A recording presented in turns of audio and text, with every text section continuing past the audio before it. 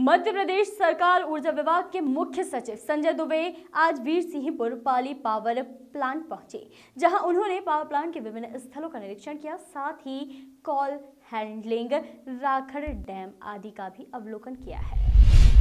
प्रमुख सचिव ने कहा कि बीरसिंहपुर पाली का पावर प्लांट कम खर्चे में ज़्यादा विद्युत उत्पादन करके देता रहा है, जिसके लिए प्रयास होंगे कि वह उत्पादन होता रहे। श्री दुबे ने जानकारी देते हुए बताया कि यहाँ के अलावा अन्य पावर प्लांट में अतिरिक्त यूनिट लगाने के प्रस्ताव हैं, जिसमें अभी निर्णय नहीं लिया गया है।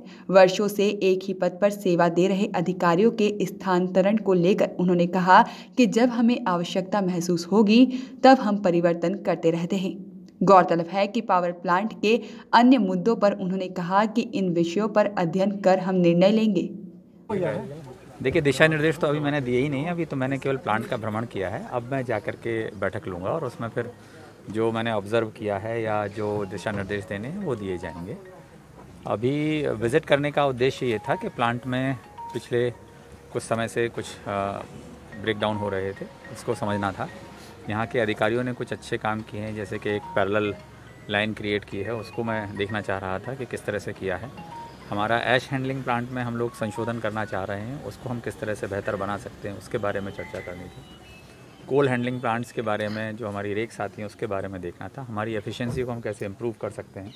और चूँकि ये पुराने प्लांट हो गए हैं, इनको हमें क्या इम्प्रूवमेंट करने की गुंजाइश है, जिससे कि हमारा प्रोडक्शन बराबर बना रहे और जो बीर सिंहपुर सबसे सस्ती बिजली पूरे प्रदेश को देता है वो यथावत बनी रहे। वो उद्देश्य था इसका। जी सर जी ये बार बार जैसे यूनिट बंद हो रही है उसको लेकर के क्या कुछ प्रयास हो?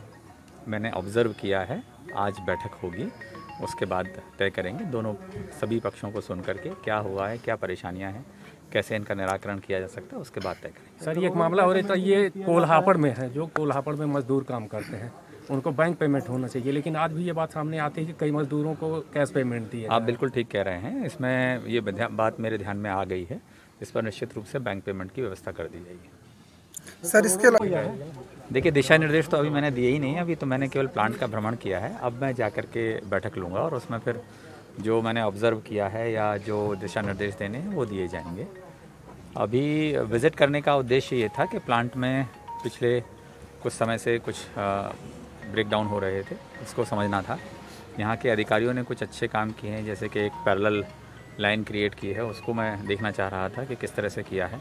हमारा ऐश हैंडलिंग प्लांट में हम लोग संशोधन करना चाह रहे हैं, उसको हम किस तरह से बेहतर बना सकते हैं, उसके बारे में चर्चा करनी थी। कोल हैंडलिंग प्लांट्स के बारे में, जो हमारी रेक साथी हैं, उसके बारे में देखना था। हमारी एफिशिएंसी को हम कैसे इम्प्रूव कर सकते हैं। और चूँकि ये पुराने प्लांट हो गए हैं, इनको हमें क्या इम्प्रूवमेंट करने की गुंजाइश है, जिससे कि हमारा प्रोडक्शन बराबर बना रहे, और जो बीर सिंहपुर सबसे सस्ती बिजली पूरे प्रदेश को देता है वो यथावत बनी रहे। वो उद्देश्य था इसका। जी सर जी ये बार बार जैसे यूनिट बंद हो रही है उसको लेकर के क्या कुछ प्रयास हो? मैंने ऑब्ज़र्व किया है आज बैठक होगी उसके बाद तय करेंगे। दोनों सभी पक्षों को सुन करके क्या हुआ है क्या परेशानियाँ हैं कैसे इनका निराकरण किया जा सकता है उसके बाद तय करेंगे। सर ये एक मामला हो रहा था ये कोल्हापड़ में है जो कोल्हापड़ में मजदूर काम करते हैं। उनको बैंक पेमेंट होना चाहिए। लेकिन आज भी ये बात सामने आती है कि कई मजदूरों को कैश पेमेंट दी है। आप बिल्कुल ठीक कह रहे हैं। इसमें ये बात मेरे ध्यान में आ गई है।